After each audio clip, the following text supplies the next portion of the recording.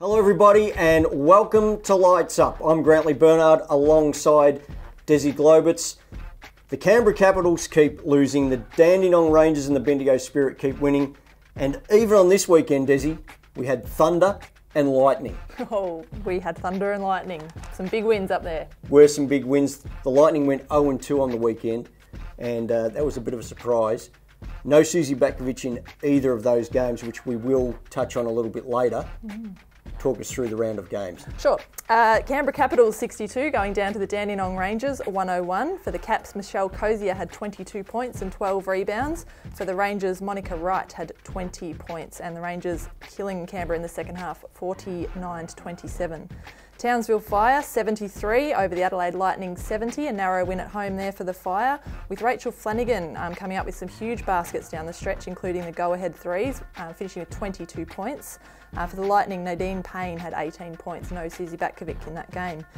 Sydney Flames 67 lost at home to the Dandenong Rangers 89 for Dandenong's second win of the weekend. For the Flames, April Sykes continued her good form with 25 points. And for the Rangers, Monica Wright finished a fantastic weekend with 31 points, shooting 9 of 12 from the field and 12 of 12 from the foul line.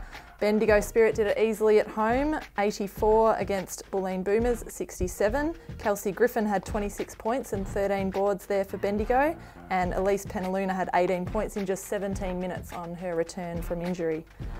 The Logan Thunder had a probably a surprise win at home there against the Adelaide Lightning 86 to 59 and Emma Langford um, continued her good form with 25 points and 8 rebounds.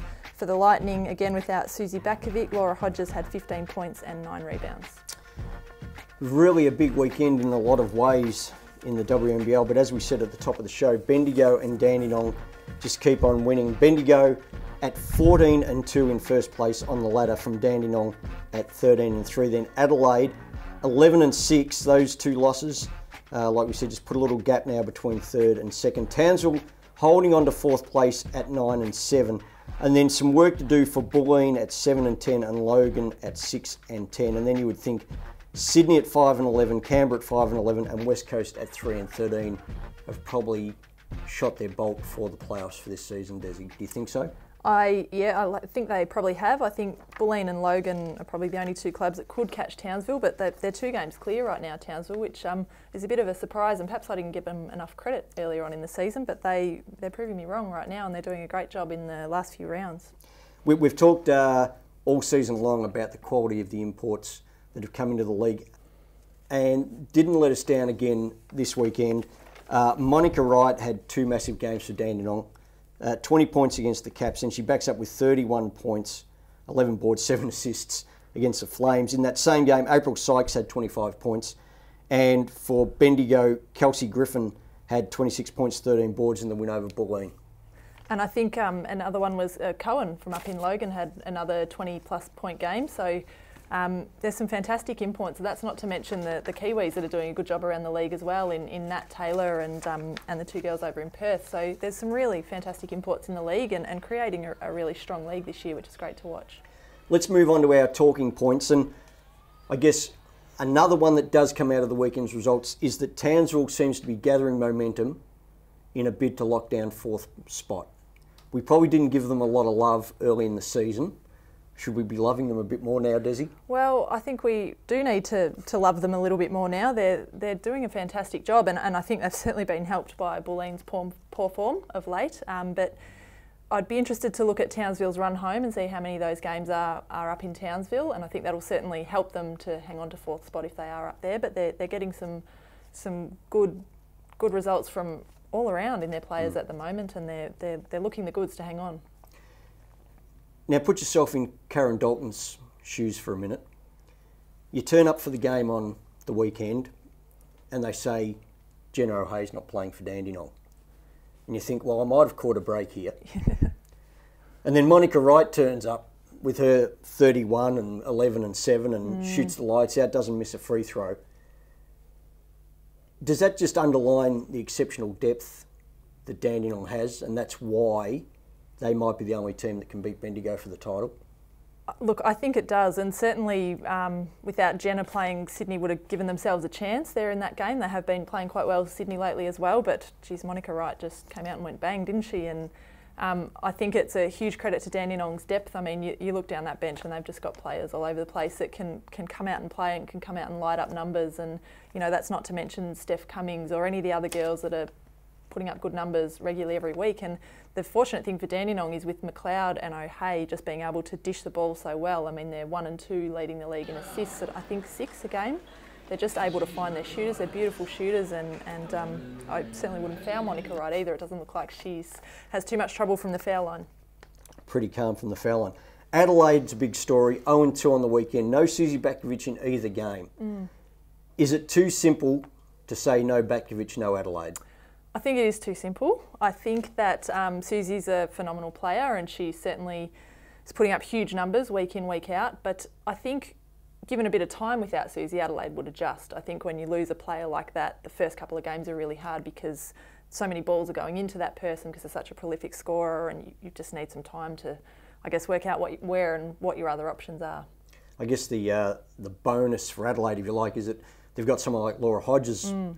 On the roster, an Olympian, a World Championship player, who then I guess just fills into the Batkovic role and yeah. and can do a good job for you. Yeah, she certainly can, and, and I guess they need to rely without Susie more on their perimeter players. You know, someone like Jenny Screen, who very unselfish player, does all the little things, but she can step up and score. It's just you know she needs to know that she needs to do that in, in Susie's absence. Same with Hill, Marino, those guys can all.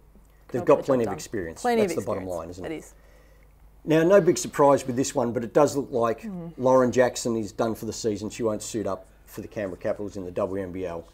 Uh, They've lost eight in a row. Mm. Can you see a win for them anywhere? They've got the Doomsday Double this weekend, Adelaide and West Coast. I actually thought we sat back here a few weeks ago and, and they were headed for Perth, and we thought they might rebound after a massive loss at the hands of Sydney, I think, and they didn't. They went over to Perth and lost, so I, I couldn't even put my money on that at the moment. But again, they've they've got some fantastic players. Bibby can light it up. Wilson's scoring has been a little bit down. Perhaps she could step up a bit, or um, Bridget Ardossi's had a good season inside. They've, they've got the players there if they get on a roll, but I dare say at Canberra their confidence is fairly low at the moment, and um, the Doomsday Double may not do much to uh, lift the confidence there. No, I think it's a good point you make about Bridget Ardossi. She has been very, very solid, mm. and she's, I guess, in a lot of ways carried the inside load for Canberra that they would have been expecting that Jackson would have taken a fair share of. Yeah, yeah, she has, but in, in a different way than we're used to with the with the Capitals. We're used to for the past few years these two tall timbers inside, and they, they just haven't had anything like that. And um, she's doing a fantastic job. And interesting to see the article on the WNBL website about her this week. She sounds like a very colourful character and many and varied interests. It was quite an entertaining read. So, yeah, look forward to seeing more of her in the WNBL in the future. I think she'll be sticking around for quite a while. I think she's mm. gained a lot of uh, admirers with the way she plays. She's Certainly has. pretty tough competitor. She doesn't cut any corners. Yes, and, well, uh, they breed them tough in Altona. I think um, her and Rachel Jarry are a tribute to that. So certainly is point. tough. fair point. As you mentioned, the WNBL website, you can follow the league on the website, wnbl.com.au. You can also follow on the Facebook page and on Twitter. And we like to get our viewer feedback and questions to uh, everyone on the show, whether it be Desi Glaubitz at, on her Twitter account at Desi Glaubitz six. six or Sharon Milner four. And this week's prize for the best question that we have uh, been sent in from our viewers, uh, we'll receive a $100 skins pack, which is pretty good. Desi, not bad, not bad. Not bad.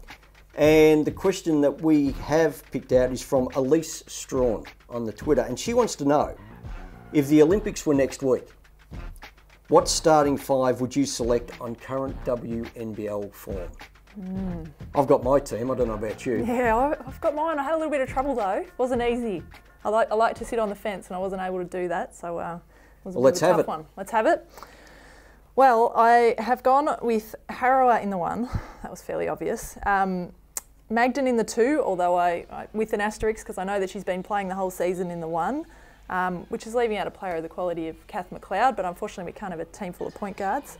Um, Jenna O'Hea, no surprises there in the three.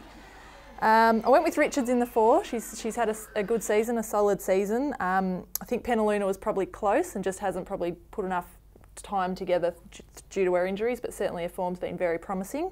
Um, and no surprises in the five spot with Big Suze. No, it's a fair call. And if, if I had to pick, I'd go Harrower. I'd have McLeod as the two, and then uh, Madgen. So I've basically got three guards, but three good perimeter players, shooters. Sure. O'Hea can play the four, but she can play anywhere. Yes, she, she can play anywhere. And the, and the back girl at the five. And Richards and Emma Langford coming off the bench as my six and seven.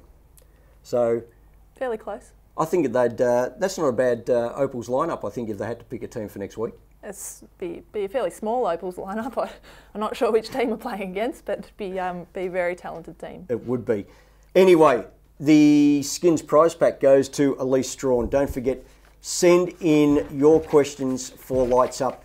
You can do that via the WNBL Facebook page or the uh, league Twitter uh, account, which is at WNBL. Week 14 coming up, Desi. We're slowly, slowly, slowly getting towards the playoffs. And there's some big, big games coming up this weekend.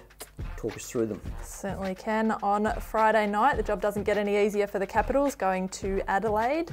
Bendigo Spirit take on the Sydney Flames at home. On Saturday night, Bulleen hosts the Dandenong Rangers in the crosstown match there.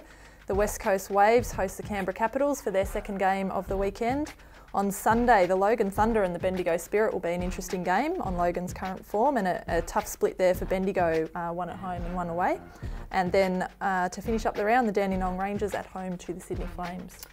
some really good games, and like you say, Logan and Bendigo, that could be a real tricky one for, for Bendigo. So uh, look out for that one, and of course the Melbourne Derby between the Boomers and the Rangers always Could get ugly. has a little bit of spice uh, involved in that one. As we said before, don't forget the WNBL. You can get everything at WNBL.com.au. You can get on the Facebook page and the Twitter account at WNBL. Desi, the sponsors have been with us all throughout the season, and they all start with IINet, Champion, ABC, Australian Sports Commission, Sporting Pulse, Spalding, and ANFA. That is it. As we said, we are slowly, slowly getting towards the playoffs, and things are really going to start warming up. Can Bulleen and Logan mount a challenge to Adelaide and Townsville? I guess we're going to find out this weekend. We'll tell another story. Come back and see us next week, and we will see if we can fully explain that story better than we did this week on Lights Up.